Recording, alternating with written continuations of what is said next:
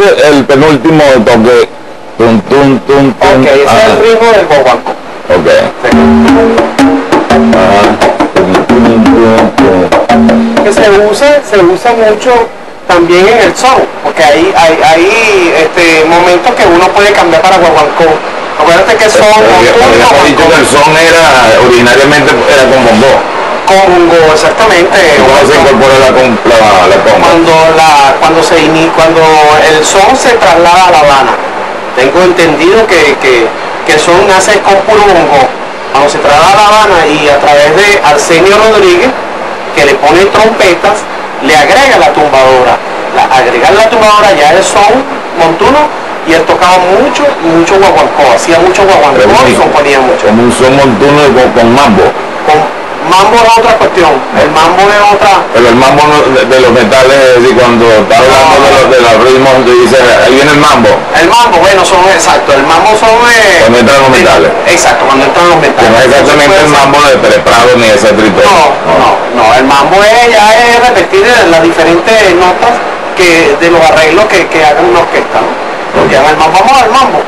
Pero el son es otra cosa, el son... Pero, el- pero el mambo tiene que ver los metales, ¿no? No, el mambo no, no, no. Los metales sí, en los metales sí, lo que tú dices.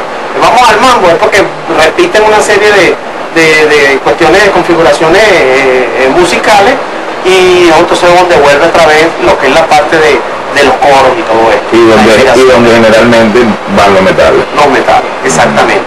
Eh, y entonces, bueno, como te decía inicialmente, se inicia, eh, se, se le mete la tumbadora al son y es donde se le da un poco más de, más de brillo, más, más menos monótono que, que, que como Entonces ese, ese tum tum tum tum es de, Es guaguancó. del guaguancó. Y el montuno, como El el montuno.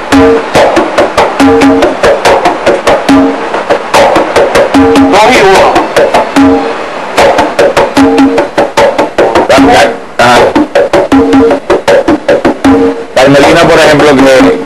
Que Camelina empieza.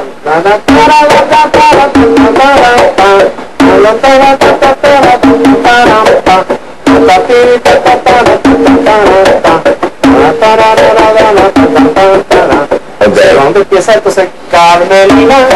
Carmelina.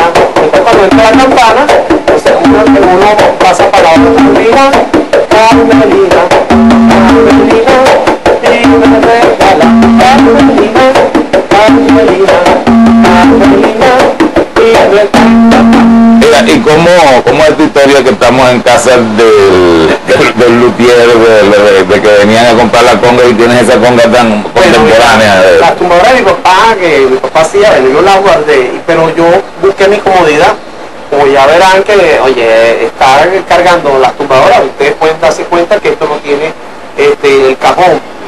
Esa es otra cuestión que le llama mucho gente, a la gente le llama mucho la atención porque piensan que lo que hace el, el ruido es el cajón.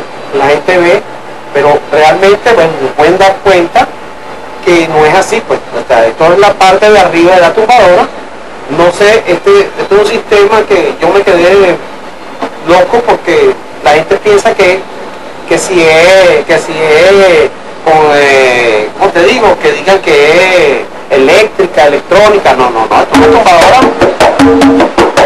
tumbadora como otras, no, no, ¿Y no quién- tiene la parte de abajo. Giovanni Hidalgo es quien comienza a usar este tipo de tumbadora. ¿o? Sí, esto es un eh, LP, que en este caso haga la, la, la cuña. Esto es un modelo Giovanni Hidalgo, que la firma es Giovanni Hidalgo, que es el que conguero puertorriqueño, bueno, bárbaro, para mí uno de los mejores del mundo, Giovanni Hidalgo. Ese era de, de, no, de Batacumbele, no. Él, no sé si pasó por la Tacumbele, pero es, es reconocido mundialmente. Se hace clínica en hasta el último rincón del, del mundo, en la China, Japón. Es muy bueno. Eh, yo lo conocí personalmente estando en Los Ángeles, persona, bueno, número uno, maravillosa y lo que tiene en las manos es candela. No me puedo comparar con Giovanni. Es zurdo como yo, pero eso es un bárbaro.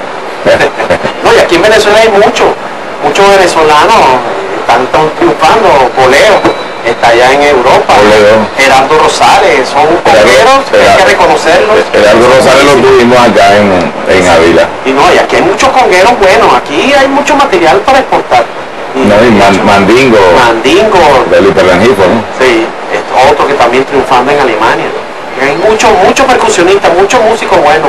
Aquí en, aquí en San Agustín se generó toda una, bueno, de donde vino el grupo Madera, ahí se generó toda esa historia, es decir, toda como una, una beta de, de, conguero. Por cierto, de los muchachos que mueren en el grupo Madera, en, vi en el disco que hay una compositor, una composición Ah, sí, de, de Ricardo Quintero, Pues eso hermano de, de Chugo Quintero que también muere en, en la tragedia en la de tragedia, de hace 25 años. en el Amazonas.